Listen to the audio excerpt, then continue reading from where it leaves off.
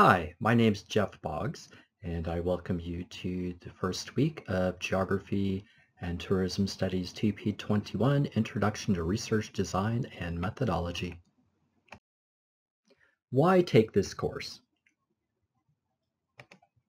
Are you taking this course because you wish to prepare for Geography and Tourism Studies 3P56 or 3P57, sometimes known as our Peterborough Field Course, or are you taking it for Geography and Tourism Studies 3P21, our Qualitative Methods and Research Design course, or are you taking it for 3P22, our Quantitative uh, Research Design and Methodology course? That's certainly one reason. Another might be you just have an intrinsic desire to learn about the basics of research design. And a third reason might be that you want to write a research proposal to prepare you to do fieldwork in Peterborough when you take Geography or Tourism Studies 3P56 or 3P57. I would argue that you're taking this course for all three reasons. And to help you understand how this course sequences with the other courses in our program, I've got a little slide. So we have Geography or Tourism Studies 2P21. So this is Introduction to Research Design and Methodology. And this feeds into, this prepares you for three other courses, three other mandatory courses, at least one's Two of them are mandatory. I think the third one is only mandatory in some cases. So one of the mandatory courses is Geography and Tourism Studies, either 3P56 or 3P57, in which you will travel to Peterborough, Ontario, and conduct over three days field work, either in the city of Peterborough, or if you are a physical geographer, outside of the city of Peterborough. So it'll help prepare you for that course by helping you think about what it even means to design research, uh, but also because in this course you will write a proposal that you can then modify, update for use in 3P56 and 3P57. It also prepares you for Geography and Tourism Studies 3P21, which is Introduction to uh, Qualitative Research Design and Methodology, uh, in which you focus on a particular suite of techniques for collecting and analyzing qualitative data. And then it also prepares you to think about research design in terms of geography and tourism studies 3P22, which is our course on a suite of techniques that some people would refer to as kind of statistics, but are statistics that are uh, focused on hypothesis testing, if you will.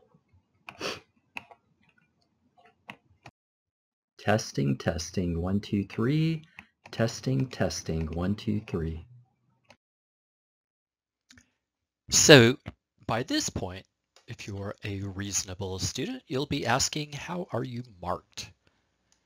Well, 10% of your mark is based on a weekly online quiz that is designed to ensure that you read the textbook and hopefully learn from it. Another 20% are weekly Kritik assignments. And so Kritik is an online system uh, that you'll have to subscribe to. I'll provide information for that under a different video.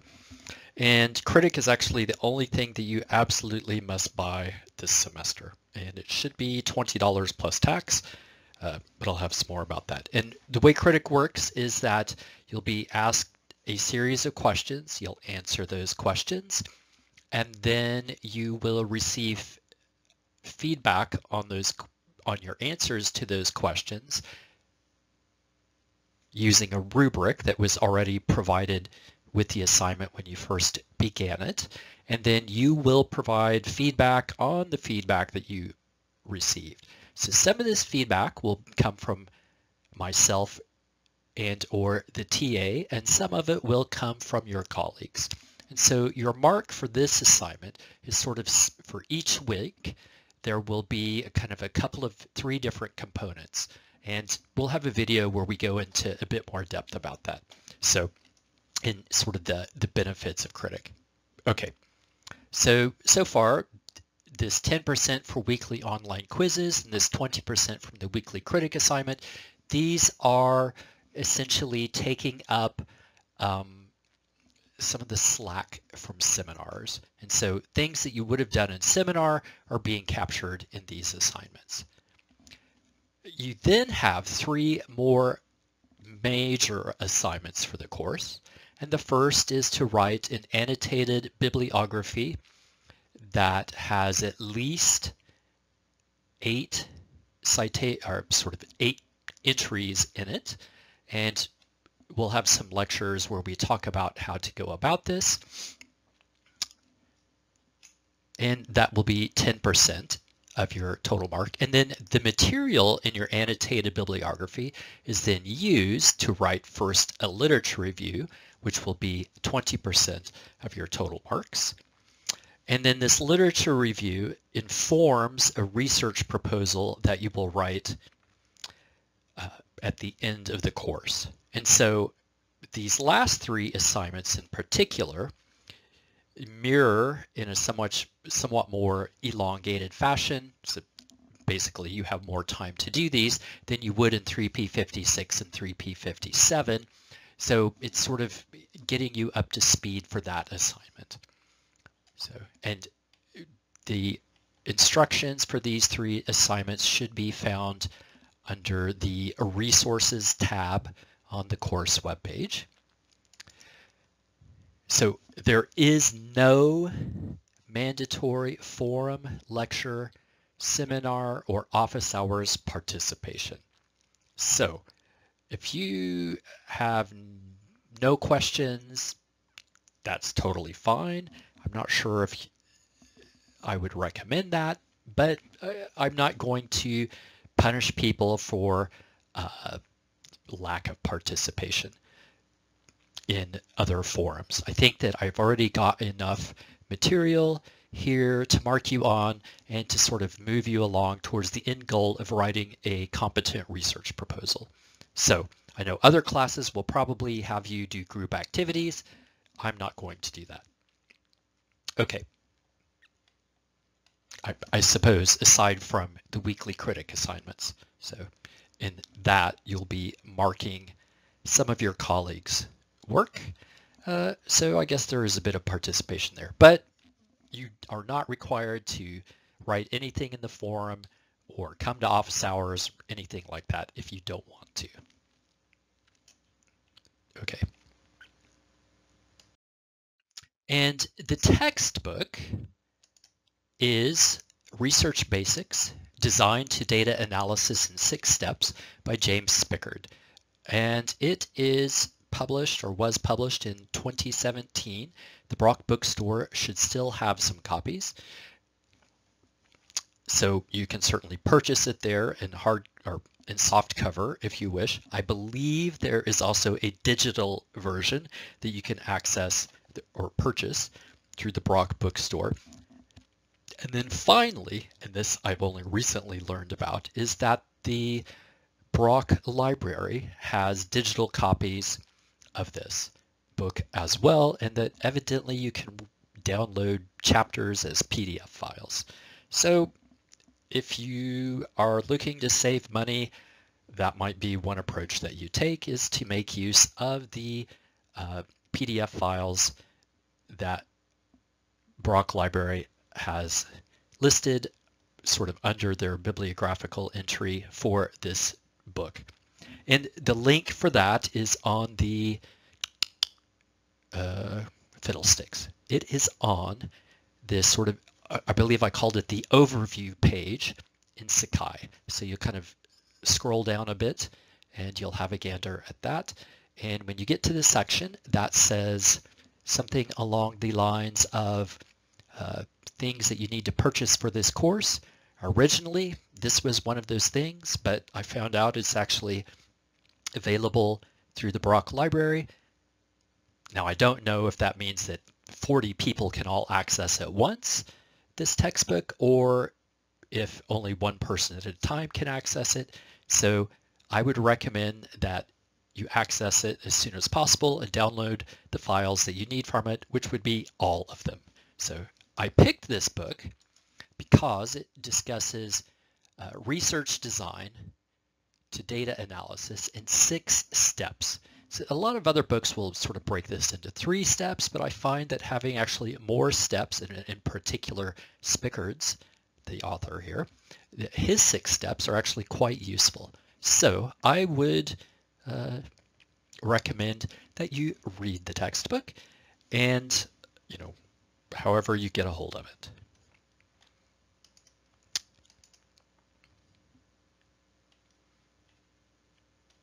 Okay.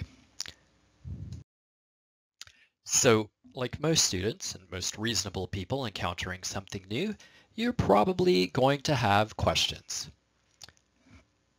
Normally, during a lecture in which I stood in front of the course or we had a seminar and we were all sitting around a table, you could just raise your hand and ask a question. That doesn't work so well in this format. So instead what you're going to do is as you have questions, you're going to post them in the week one forum if they're for week one. And as you have questions about week two, you'll post those in the week two forum and so on. I would like before you post questions to for you to have read, especially questions about material in the lecture slides, is for you to have read the corresponding chapter or chapters in the textbook. Because it might be that that helps answer some of your questions, or it might be that those create even more questions for you. But whatever the case, you know, look around a little bit first, and then if you still have questions, post in the forum. At this point, we would usually be somewhere between, I don't know, 15 and 40 minutes into a lecture. Currently, we are about 12 minutes in, or 13 minutes into a lecture. And what would happen at that point is that I would post a question sort of like this one. So kind of an ice-breaking question that gets at the core or the central concern or justification for why we even bother to offer this course. And in this case, you're taking a course in 2P21, that is, is a course on research design.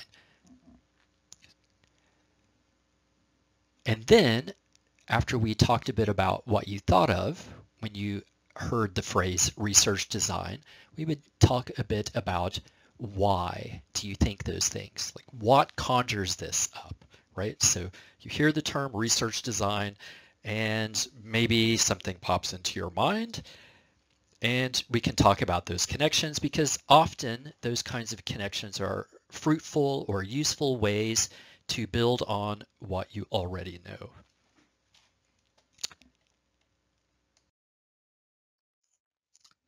So we have research design. Hold on, let me try to write this here.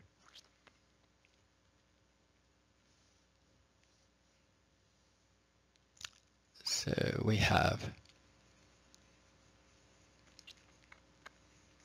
research design.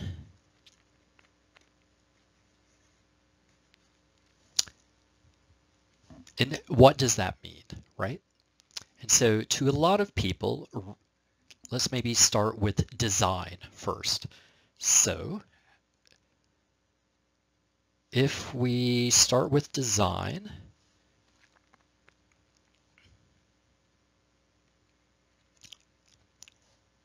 to a lot of people, the word design suggests a kind of maybe a plan, or a blueprint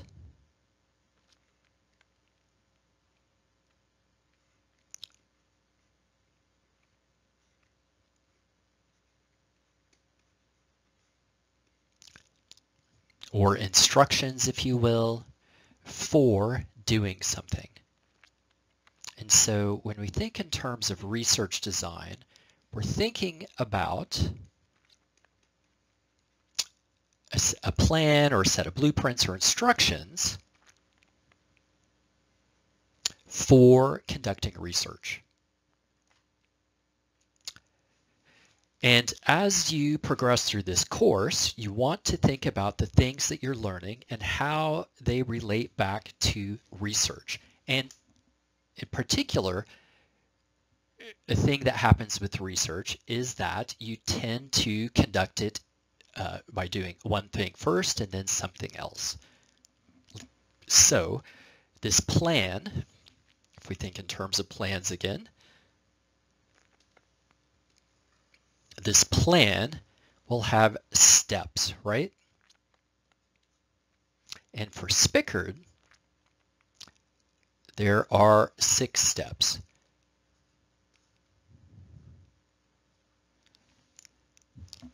And as you're reading the textbook, you also want to think, and as you're reading the material on the course Sakai page, you want to think about what steps are you working through as you're doing whatever it is that you're doing. And so Spickard lays out six steps for conducting research. And so the way that each of those steps uh, sort of unfolds depends upon the nature of what it is that you're researching, but there still are six steps. Okay, so we've kind of talked about what we mean by design when we say research design. And we now have a better sense that design suggests that there's a plan or blueprint or instructions. Let's turn now to this notion of research. No, fiddlesticks. Have to forgive me. I've owned this tablet for about 10 years, and this is the first time I've actually really sat down and forced myself to use it. So, but still using a drawing tablet is much easier than using a mouse to write things. Okay, so research sometimes is a thing to people. So they might say that, no, fiddlesticks, hold on. Actually, let me use a different color. Use red here. So the research, some people think of it as kind of a thing or if you will, the results of some kind of process. So research is sometimes thought of as a thing or the results. So you know, one of the results of research into I suppose online course design is that I am attempting to use some of the techniques which are alleged to be more effective in helping students learn in an online course, right? So that there are results that I am making use of. However, research, we can also think of research as a kind of a process, oh, fiddlesticks, as a process, right? So it is something that we do, and in particular, it's a process to that we follow to answer a question. So research, we can think of it as a thing or results. So that's one way to think about research. But another way, and let me just go up here. So I'll put a, a 1 up here. So that's one way to think about research is that it's sort of the end result of some process, but it's also a process to answer a question. And so research design involves coming up with a plan for a process to answer a question that then produces results that are hopefully usable by someone.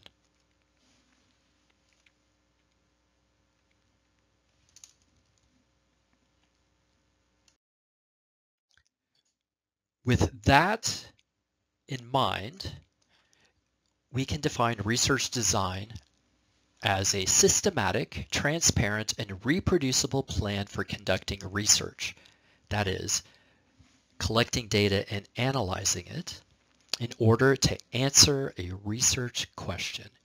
So research design, the purpose of it is to answer a research question.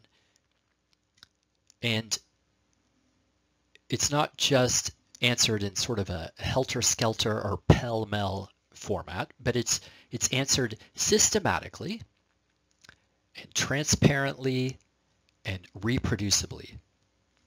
So by systematic, that means that there are steps.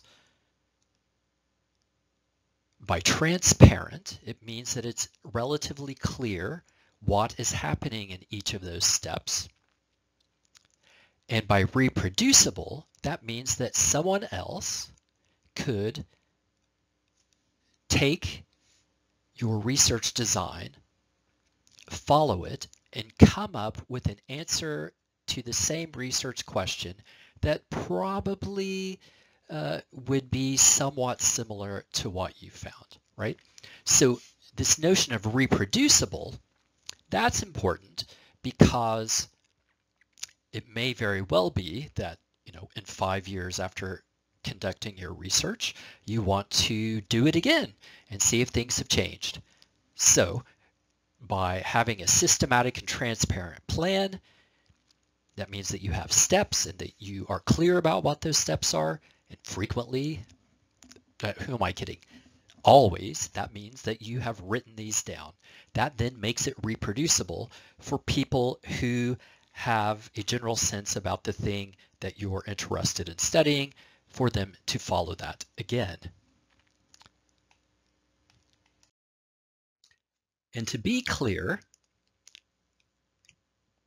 the premise of Spickard's book, that is your textbook, is that good research follows a six-step plan. And we will go through these steps as the weeks progress, and you will use these steps to write your proposal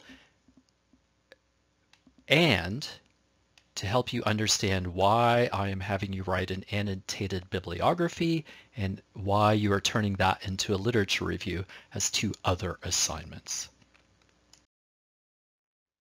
So at this point, you're probably asking, oh, dear God, please just give me these steps and shut up. All right, what I will do is provide you now with Spickard's six steps. So the first is develop a good research question.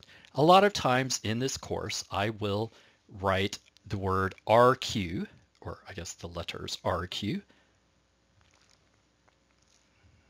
Let me move this up over here. Yep, so RQ, research question.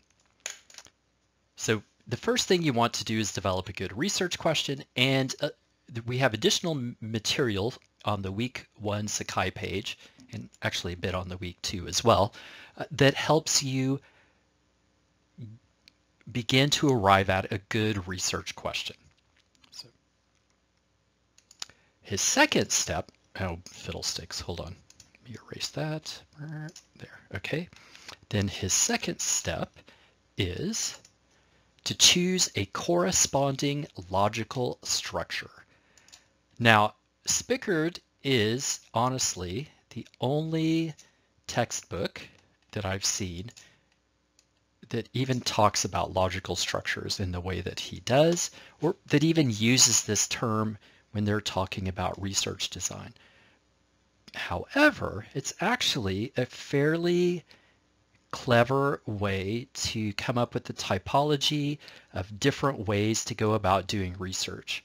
So it could have more detail in my mind, and he's written this book for an audience of social scientists largely. So I would argue that he might benefit from including a bit more about uh,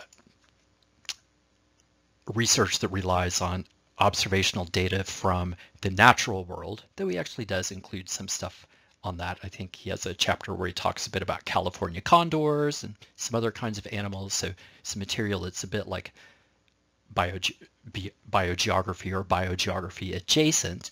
Um, but if we come back to this notion of this logical structure, there are some number of those, I'm going to say about 10, and we'll go over those. But once you have a research question, then you think about what's the best way to go about answering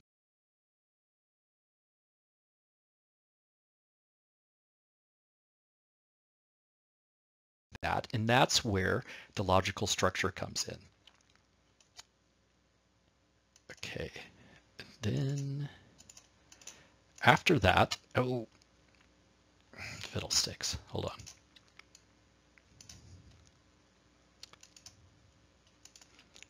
Yeah, there are 10 logical structures, right? And we'll cover those next week.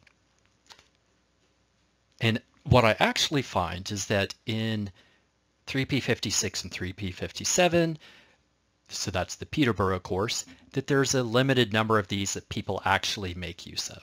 So partially because you're collecting your own data and not relying on secondary data, uh, but there's a couple of other reasons as well for that, but we'll talk about that more next week. So Speckard's, Spickard's six steps, so the third of his six steps is you identify the type of data that you need. So this, I want to say, if I think about it, that there are 14 types of data my recommendation is that when you're writing your research proposal, that you're you're really going to think about one kind of data that you need to answer that question. So you could use many kinds of data. You don't need to. We want to focus. So, and in around week three, we'll start talking about that, uh, the, what he means by types of data. He then talks about a data collection method so this data collection method, and it's a collection method. So a lot of other books would start talking about things like sampling at this time. How are you going to pick, uh, or yeah, how are you going to pick, the fancy term would be elements from a population to, uh, to analyze. So if you were interested in the effects of stream runoff on fish, then you would probably want to collect some fish, for instance, and maybe some kind of measurement on stream runoff as well. Like, so what is the amount? What kind of chemicals does it contain in it? Uh, things like that, right? So, but data collection, uh, he has, if I remember correctly, we'll see here in a minute, I believe sort of 12 general ways to think about data collection. Yeah, 12. And around week four, we'll get into those. And so we've got our research question, we have a logical structure, so we know what our big question is and we think about what would be the best way to answer it. That's kind of where our logical structure comes in. Once we have a particular logical structure, there are only some kinds of data that fit with that logical structure. So after you have identified your logical structure, then you figure out what type of data do you need. And then after you figure out what kind of data you need, only then do you think about how am I actually going to get my hot little hands on that data. So that's when you start to think about the data collection method. So I noticed that a lot of books kind of skip over steps two and three and sort of jump right to four. So I find having steps two and three really useful because it slows you down and forces you to think through what you're doing so that when you get out to the field, you don't collect a bunch of data that you can't actually then use. So your fifth step is that once you figured out how you want to collect your data, then you figure out the site and your sampling strategy. So the site is the actual location.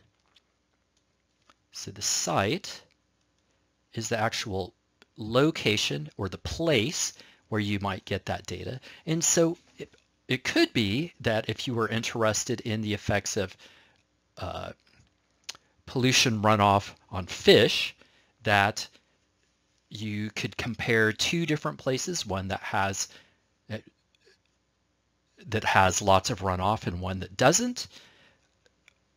Or it could also be that perhaps Parks Canada already has lots of data stuffed in a filing cabinet. Well, I guess nowadays it would be all digital, but perhaps someone has secondary data in an office somewhere that would also let you answer your questions. So what's interesting about Spickard is that for sites, these can be places where you physically go and collect your data. So Peterborough is one example, but they can also be places that sort of hold your data.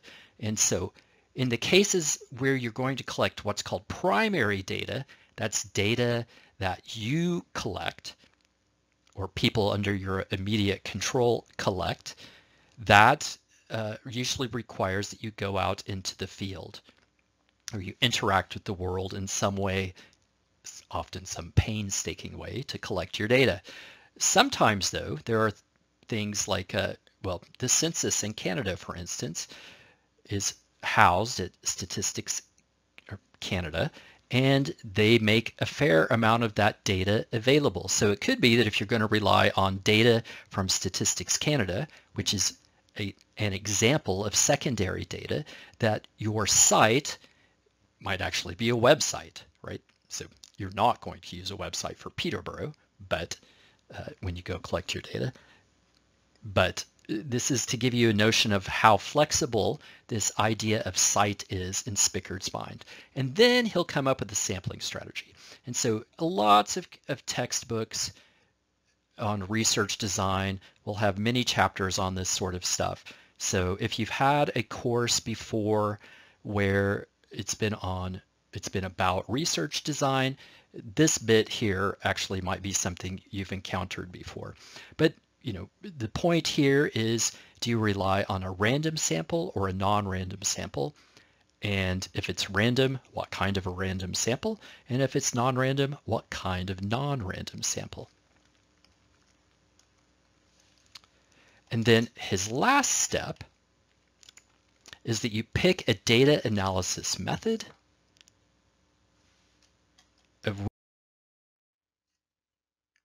we have now introduced the six steps of Spickard and just to give you a sense of how they all fit together.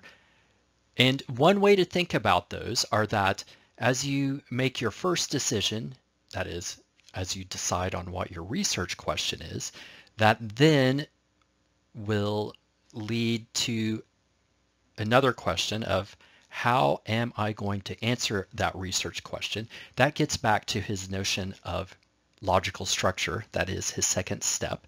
And then from there, he moves on to ask what kind of data do I need to answer this research question, given that I'm using this particular logical structure. It, it, that's your third step. And as he moves through this, what tends to happen is that you will find yourself with fewer and fewer decisions to make, which is actually kind of nice, as you work through his six steps. With that in mind, it's really important to think about what is a research question. And so a research question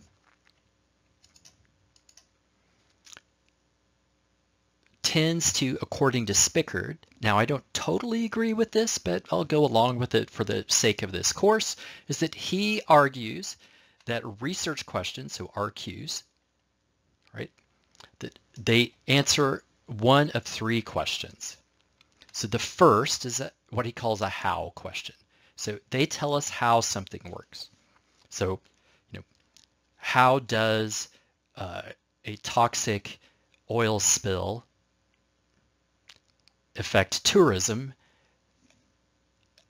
in an island uh, community dominated by tourism? That's a, bit of a, a wordy question, and it's actually a bit vague. It could be focused in a lot more, but that might be one example of a how question. Or how does uh, rain shape the formation of coastlines? That might be a physical geography question, right? So, but how questions, they tell us, or if we get an answer to a how question, they tell us how something works. So how do avalanches happen in heavily deforested mountain regions, for instance?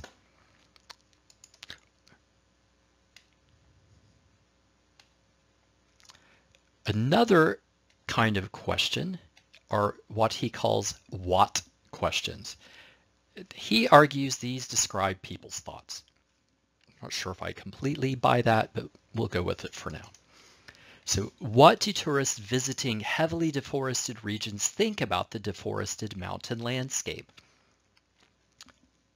So in this case, we've got a question in which it's about, if you will, the interaction between tourists and heavily deforested regions.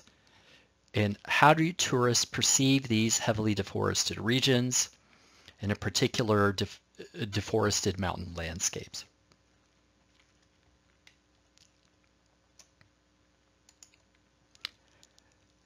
His last question, which drives me crazy because it's not really a question.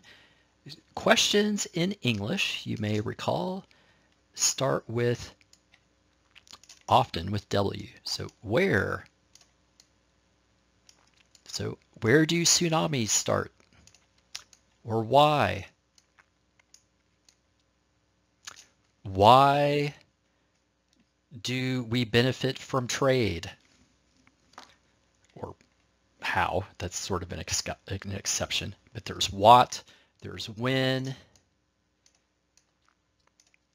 When did the tsunami, uh, sorry, when did the tsunami uh, strike a particular location? That's a fairly kind of factual question, but it is a kind of a question. So where, why, when, who, so who tends to benefit from tourism development in areas that have experienced heavy levels of deforestation?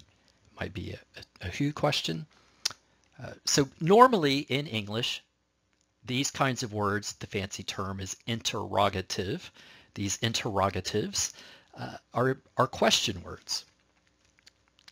And then here we have do, which drives me crazy because it's not really a question word. Nonetheless, Spickard's going to use it. And he says that do questions ask about people's behaviors. So do tourists tend to visit heavily deforested mountain regions more after an avalanche or before?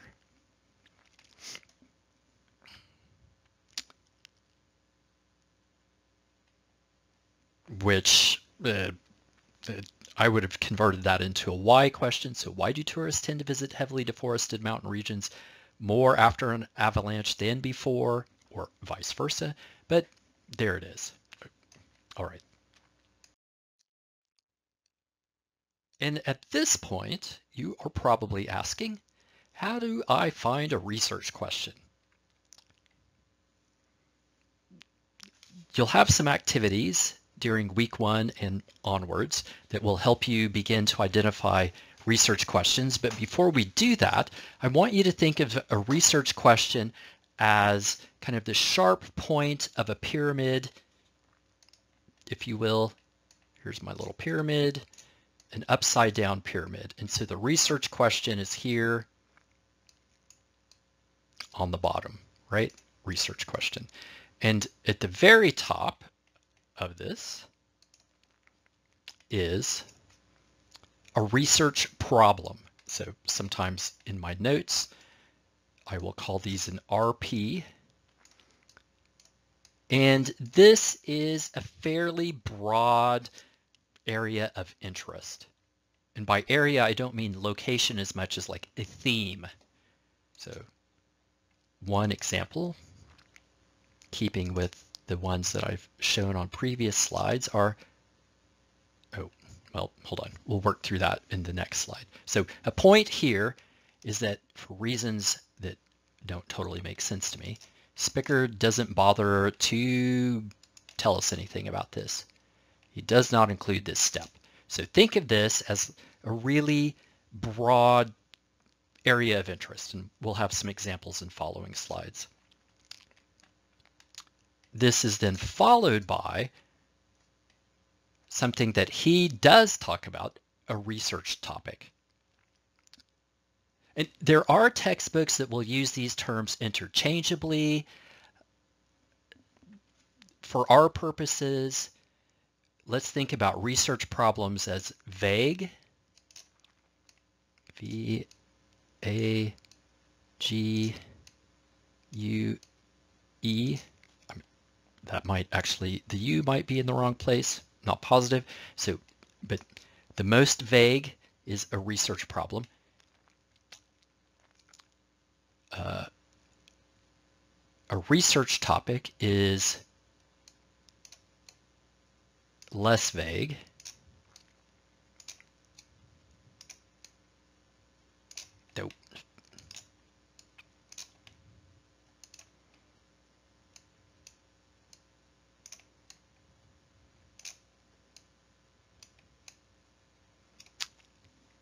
There I'm beginning to write like a seven-year-old. Okay, so a research topic is less vague. Sometimes I'll call that an RT.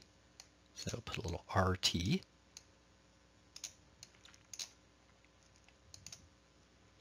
And then the last bit is a research question. So you will often start with one or more research problems, and within those, you'll start to identify somewhat less vague things that you're interested in. We can call these research topics. And then from each of those research topics, you'll usually come up with one or more research questions. So let's, we'll call research questions specific. Or the most specific. That's S-P-E-C-I-F-I-C. Sorry if it looks a bit funky. So in the week one Sakai material, I sort of beat this like a dead horse. I guess that's a terrible thing to say. You should never beat a living or a dead horse. So I cover these topics with a, fair number of examples uh, in the week one and maybe the week two material uh, on Sakai. But you start at the top with something, a research problem, something you're interested in, and then you start to winnow it down until eventually you come up with one or more research questions. And for the purpose of your proposal that you'll write for this course, I implore you, I beg you, just to focus on one research question.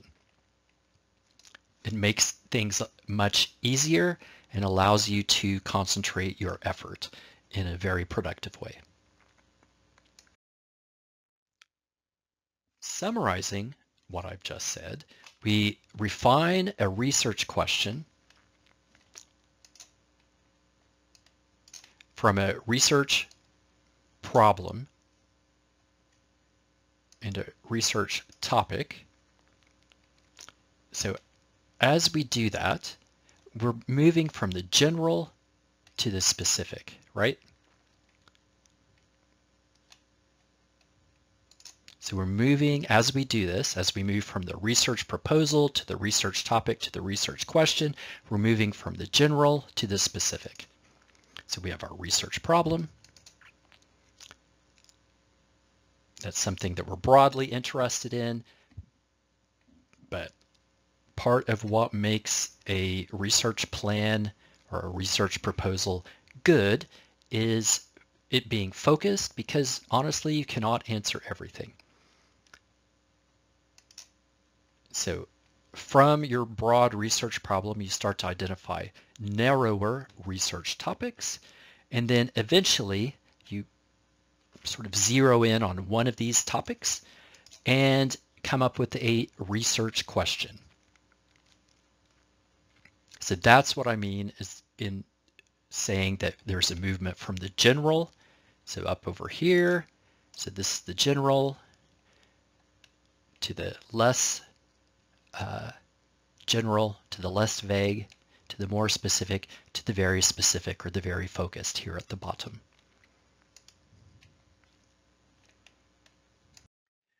Reiterating a point that I've made these past few slides, remember that research problems precede research topics. So research problems are really general. Research topics are somewhat less general. And again, Spickard does not talk about research problems, sadly.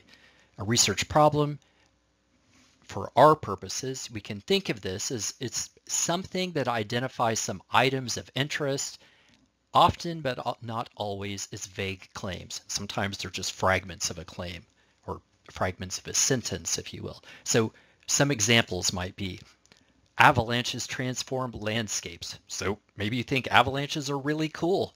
That counts as the beginning of a research problem. So if you have a hankering, a sort of a undying love of, of avalanches and how they work their way across a landscape to alter how it changes either in the short term or the long term, that would be a completely reasonable research problem. It might be that you've noticed that avalanche tourism is a growing activity. I actually don't know if avalanche tourism is a thing at all. It seems like a, a very sad form of what in English sometimes gets called rubbernecking. So when people stop and look at gruesome accidents at the side of the road. But nonetheless, I can imagine that in a world of more than 7 billion people, there are probably at least two or three people who would like to go to a place that's had an avalanche uh, just to see what happened. And they're not doing it for sort of uh, public planning reasons, but because of some vicarious interest in death and destruction. So maybe this is an example of what in tourism studies might get called dark tourism.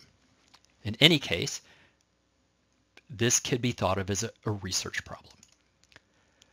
Another research problem might be that people don't behave rationally in dangerous landscapes. So it might very well be that people live in an area in which avalanches are quite common every 10 or 15 or 20 years and they could move somewhere else, but for whatever reason they don't, or maybe they can't move somewhere else. That's even more terrifying.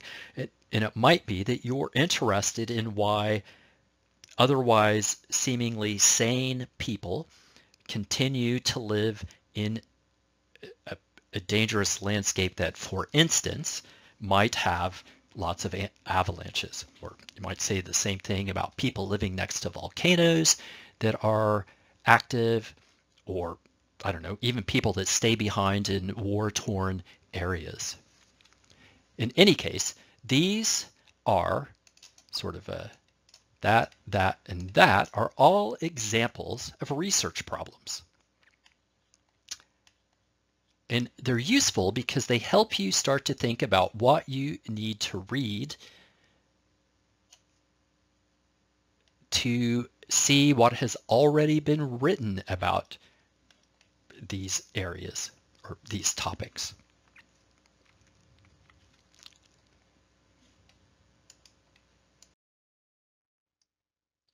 In Spickard's mind, certainly in this textbook that he's written, research topics are general questions. So they're not they're not claims, they're not sort of fragments of a sentence. They are a particular kind of question.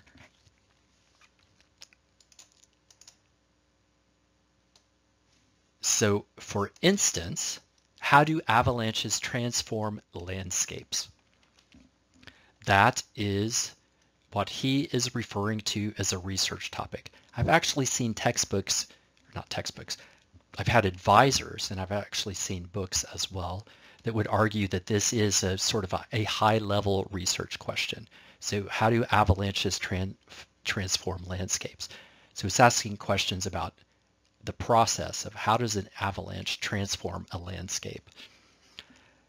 For Spickard, and we'll see that in the next slide, he prefers research questions to be even more focused than this.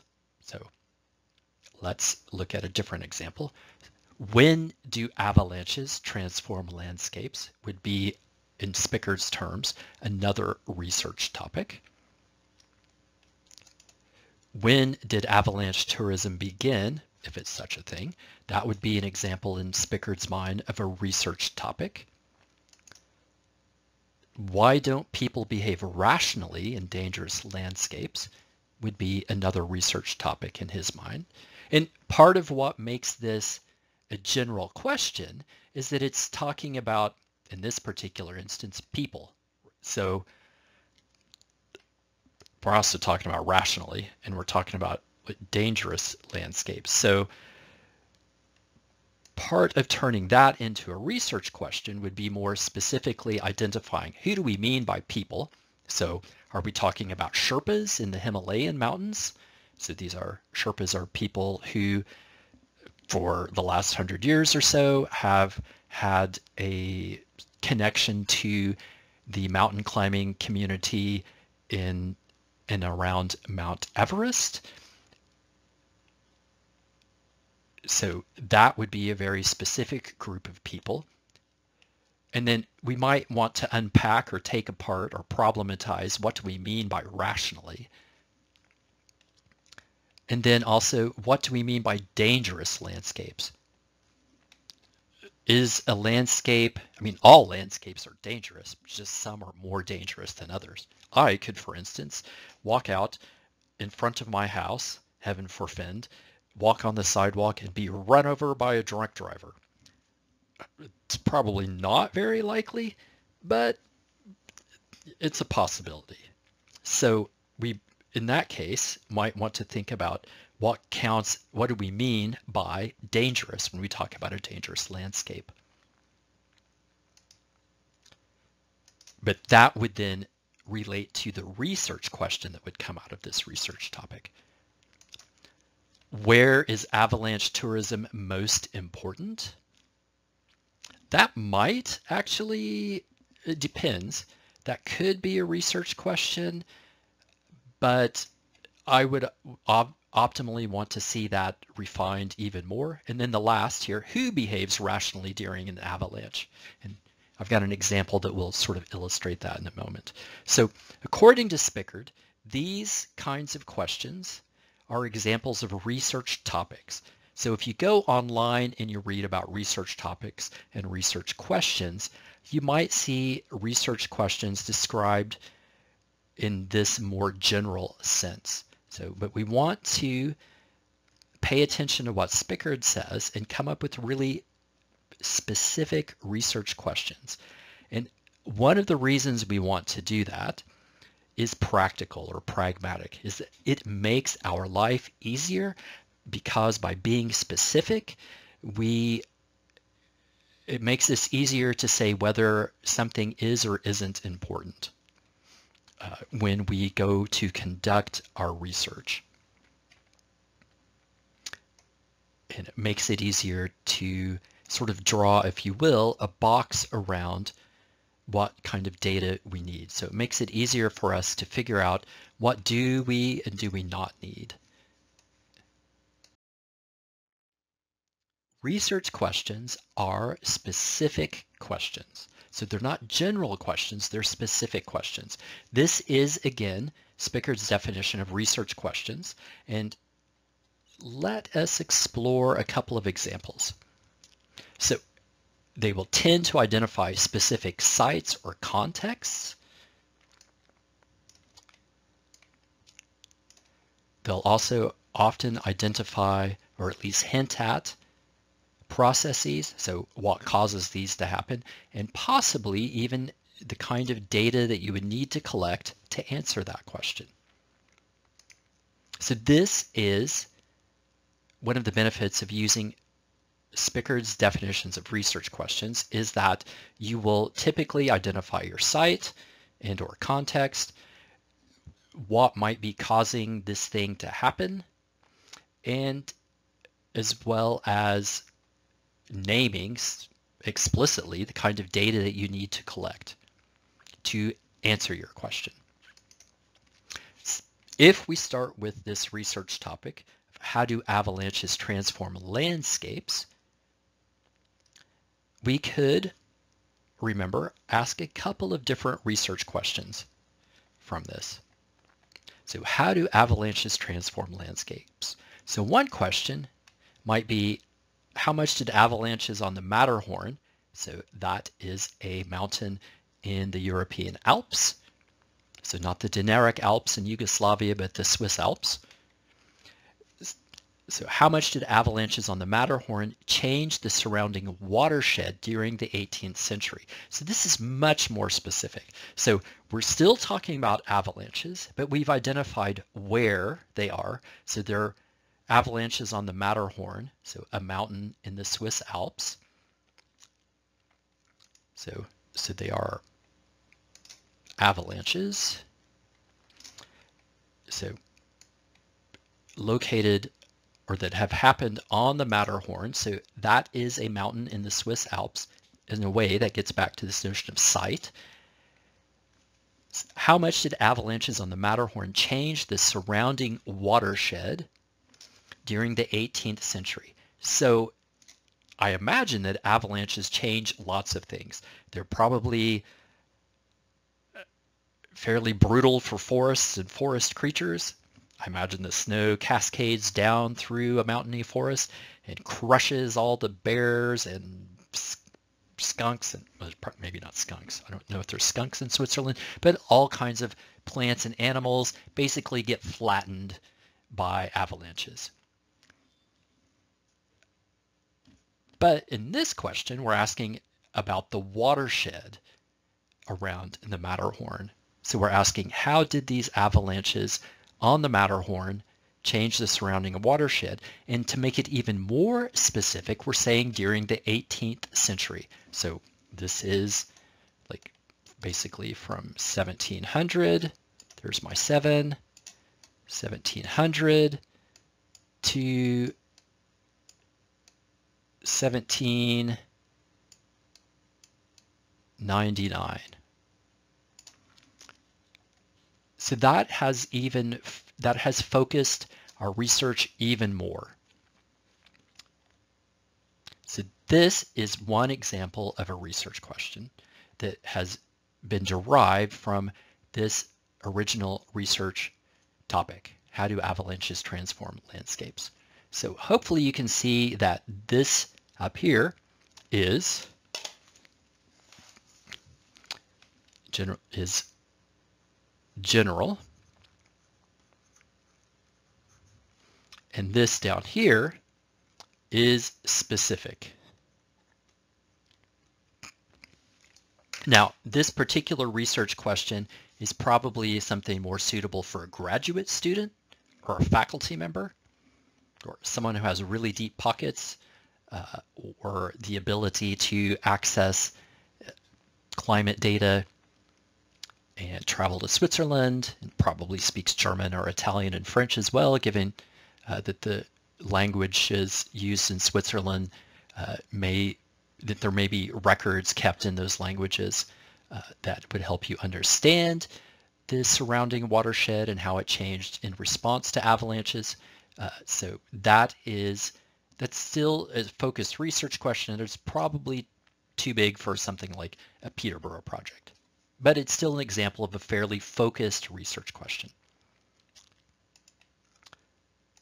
Another example of a research question that relates again to the research topic of how do avalanches transform landscapes. So remember that's the general question.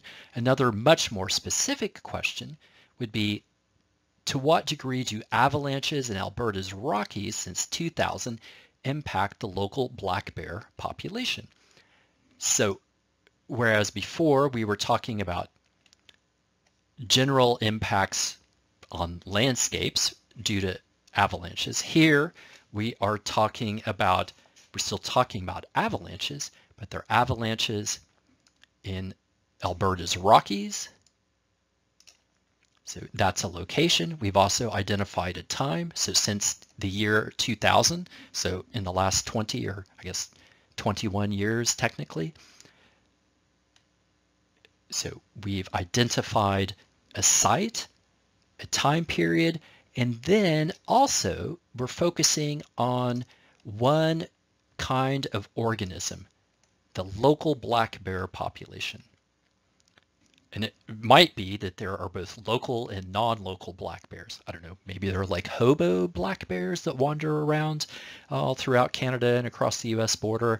And there are other black bears that are a bit more likely to not range so far. We are interested in the black bears that tend to always be in that area, right? So this is a much more specific, much more explicit focusing of that research topic to, to make a research question.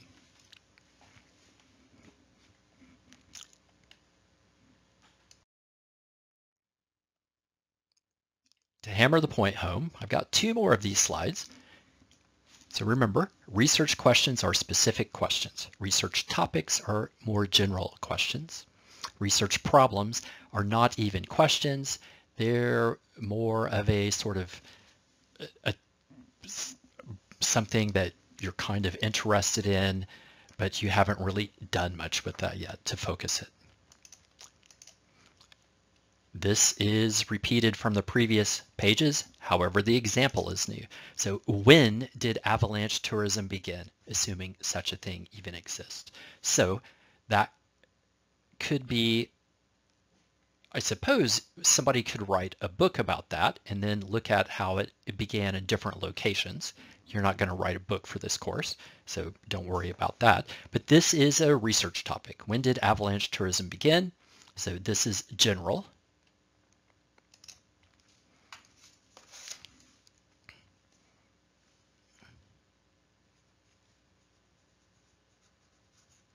So that's general, whereas this research question, what caused avalanche tourism to begin on Mount Kilimanjaro?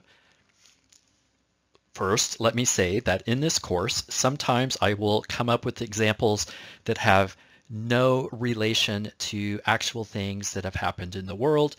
I do not know if Mount Kilimanjaro actually has avalanches. It is still, to my knowledge, snow-peaked I'm not sure how many more decades that will survive with global warming. And I can imagine that at some time in its history, there, has there have been at least one avalanches on Mount Kilimanjaro. Whether or not there's ever been avalanche tourism there is another, is purely speculation on my part. However, with that in mind, this research question, what caused avalanche tourism to begin on Mount Kilimanjaro, is focused on a particular location. And it, if we go here, hold on, it really only differs from the previous, so from this research topic, in that it's it's at least specifying a particular place, and that's really the only difference well, I suppose it asks what caused it be, to begin, but honestly, when and what caused in this particular context text mean kind of the same thing. Nonetheless, this is a research question that is is is more specific than the research topic from which it is derived. Another example might be how seasonal is avalanche tourism in North America in the 20th century?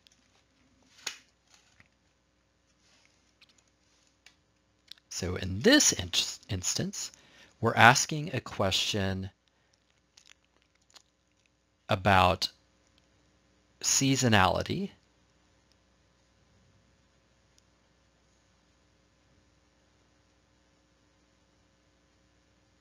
in avalanche tourism, I mean, my assumption is that avalanches tend to take place in the wintertime, maybe even in the late winter time, uh, as lots of snow has accumulated and as it's begun to melt,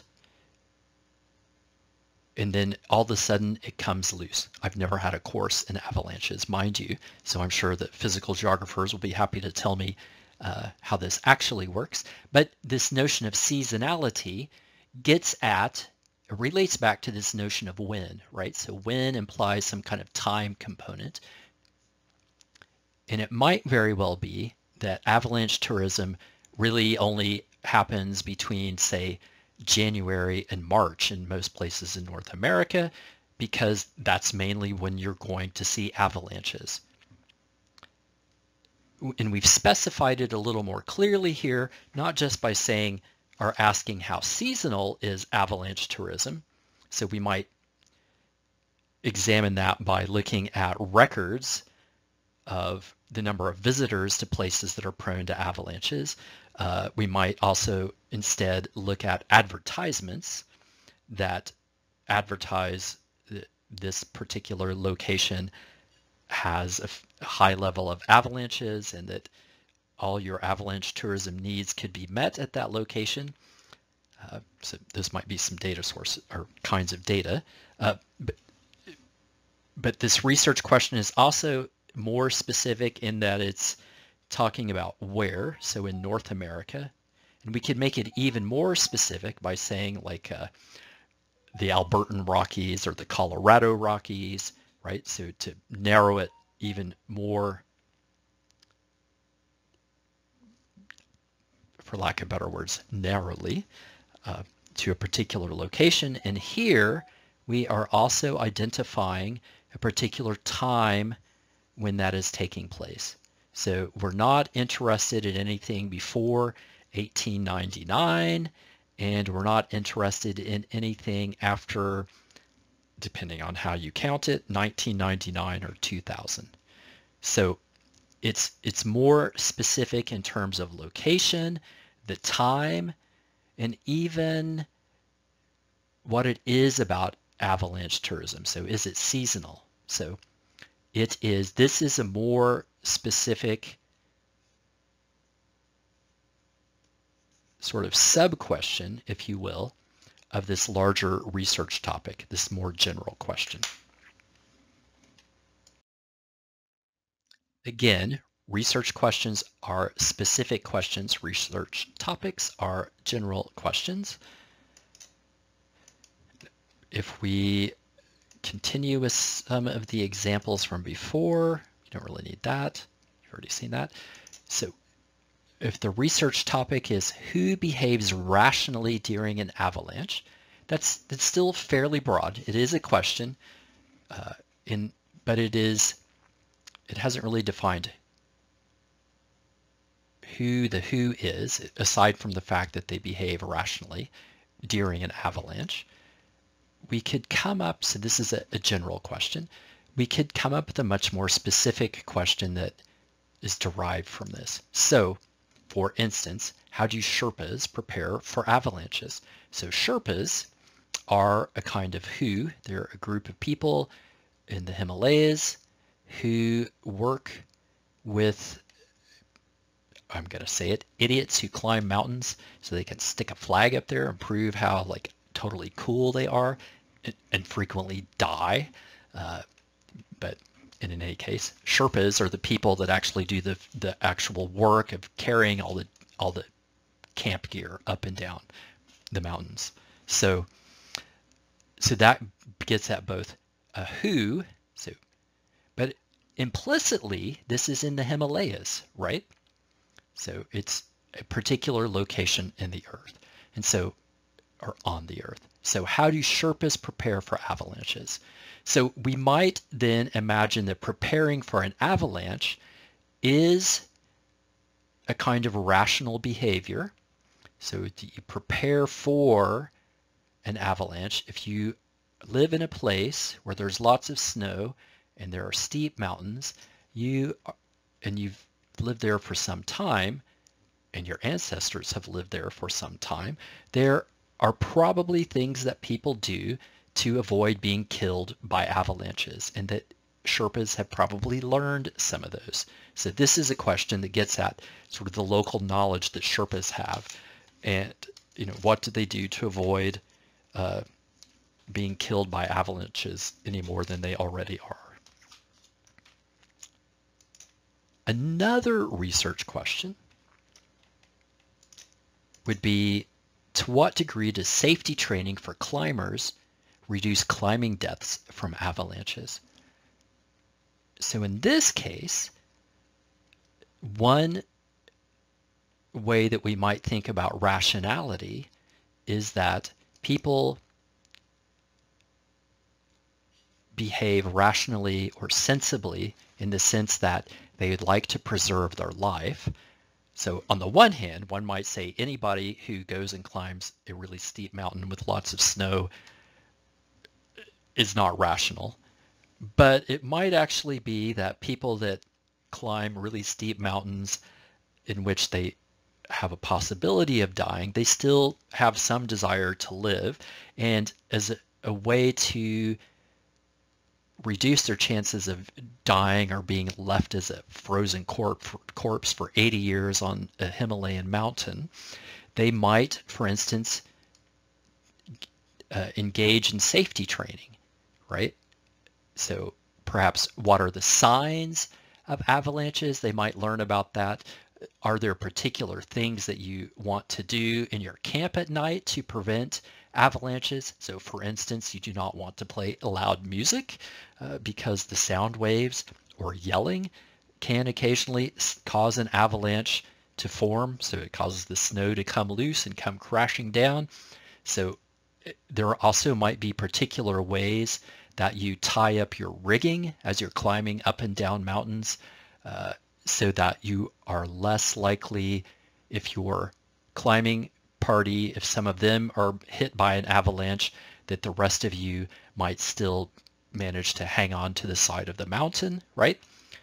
And so in this case, it, we're not saying so much about, in this particular instance, about a location, but we are being much more specific about a particular kind of activity for a particular group so for climbers, and we could even, you know, define climbers more narrowly. So it, you know, it could be professional climbers or amateur climbers, or we could replace climbers entirely with Sherpas because they also have to climb to carry all the gear for these crazy people that like to go up on mountains. Uh, so we could make this even more specific, but even as it is, it is still much more specific than the original research topic.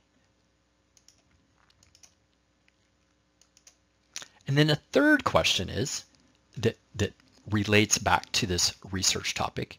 What is the role of grandmothers in teaching Sherpas to recognize avalanche signs? This is another purely speculative question, but my suspicion is that people that, that grow up in cultures in which avalanches are fairly common probably transmit or teach information about how to recognize avalanches as well as how to survive avalanches or how to avoid avalanches. That's probably part and parcel of how people in those cultures live their life, right?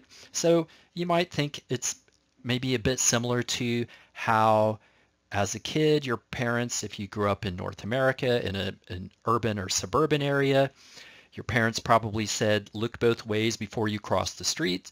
And if they didn't, you certainly learned that in school.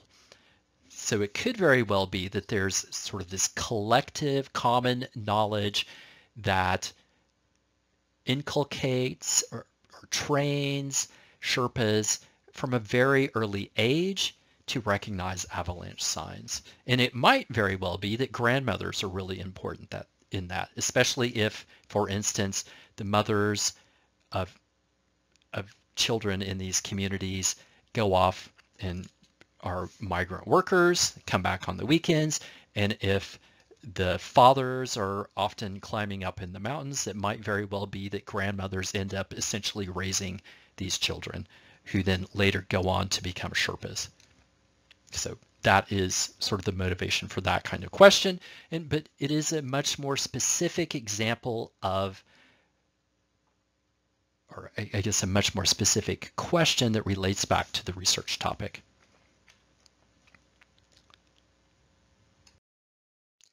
So after those three slides, I hope you have a better sense of the difference between a research topic, which is a general question according to Spickard, and a research question, which is a very specific question according to Spickard.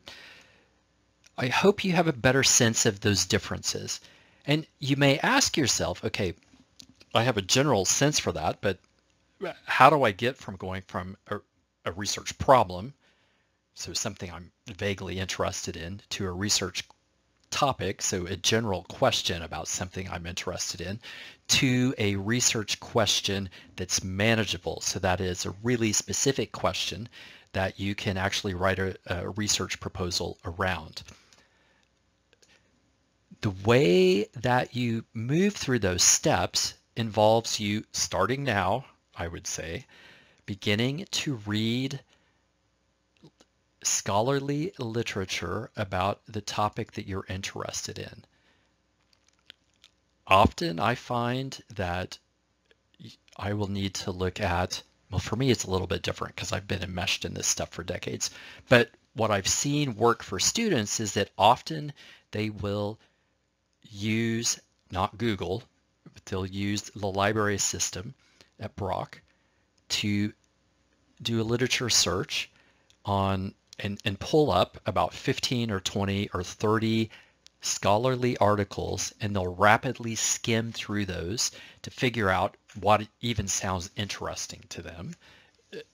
And from that, then they'll end up selecting, you know, somewhere between eight and 10 articles that they'll really focus on when they are first beginning to write their annotated bibliography but then that they then use that to write their literature review that goes into their research proposal. But this is something that good students do not the night before it's done, but that they start now at the beginning of the semester. So for the first week of class, your Kritik assignment is designed to force you to start thinking about research problems, research topics, and research questions that interest you. Because you are going to write a research proposal. Uh, so you're going to develop a plan to answer a research question that is somehow related to the fine city of Peterborough and uh, that you will go and collect data for next year or whenever you take 3P56 or 3P57. But this all begins by reviewing scholarly literature. So not newspapers, not nonfiction books, not fiction books, but scholarly literature and not random websites or Wikipedia. Oh my God. So, but I'll provide some more guidance as next week progresses. So you're going to use scholarly sources and in particular, you're going to use scholarly journal articles that are empirical. And the week two material on Sakai provides some examples of what that means so that you will differentiate between scholarly empirical research and scholarly conceptual research. So empirical research means that someone has gotten off their backside and gone somewhere and collected some data and that, and that they've actually left their office. So even if it was just to go pester somebody at Statistics Canada, but often it involves going out and collecting soil samples or interviewing people or collecting advertisements or tracking or catching and uh, marking and tracking wildlife of some sort. So empirical means that data was collected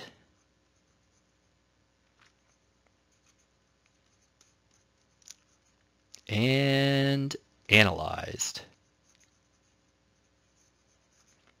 And part of why you will be looking at empirical, so scholarly journal articles in particular, is that they provide you, if you will, a set of breadcrumbs or ideas for how to structure your own research. Because in scholarly journal articles, they will talk about how they conducted their research and why they did it and what they found. And those will give you ideas for your literature review, so themes in particular for your literature review, but then it will also help you think about how you would answer somewhat similar questions in Peterborough or in the surrounding area. And a thing to remember is that if you find nothing, you haven't searched long enough. I believe that's true, but also Spickard, bless his soul, says that as well. So keep looking. So, and if you're getting stuck looking, contact me or the TA or the librarian actually. So, but we can kind of point you in a direction. And the reason that you review your literature is that it reveals if somebody else has answered your research question, and if so, how they went about doing it.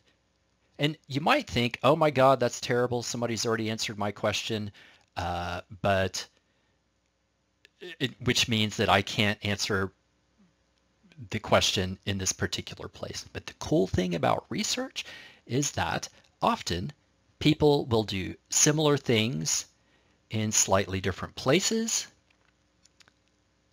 and they learn from how other people have answered those particular questions in another location and then they apply that same set of techniques in a new place like Peterborough. So just because someone else has answered your research question, as long as they haven't answered it in Peterborough, in, then you're fine. That's actually how knowledge tends to grow. So because what you can find out is if is your answer similar to someone else's answer? And if it is, then that might suggest that there's a more general pattern at work. And if not, that also suggests so if you find something different, it might suggest that there's different processes at work that cause different kinds of patterns or outcomes in that place you're in. Uh, let's go here. So a literature review reveals what is and is not known about a topic. Keep that in mind. And part of what you do with your research question is that you build on what is known and optimally by building on what is known, you're also able to say something about what is not previously known about whatever it is you're investigating. At the undergraduate level, that's not as important. We're looking basically more so for kind of a competent delivery and clarity. So novelty, so coming up with something completely new. We're not really expecting that.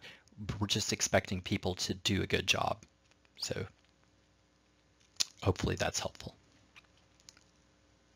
And the last slide is simply this. Research projects can answer one or many research questions.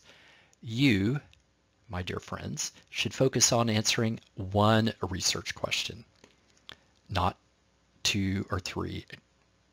So occasionally I've seen people go with two, but that often creates more trouble than it's worth. If you have more than two research questions, pick one you like and go with it. And honestly, just go with one research question. Makes things so much easier. So uh, with that, we are done with the week one lectures as they pertain to the material in Spickard's introduction and chapter one. If you have questions, post to the course forum and I hope to hear from you sometime soon.